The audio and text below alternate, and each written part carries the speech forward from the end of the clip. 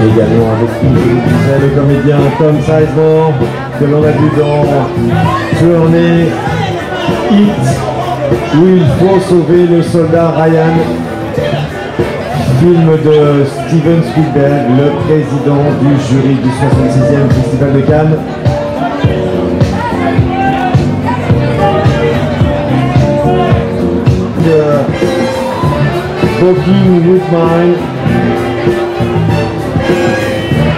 Malik Barnard,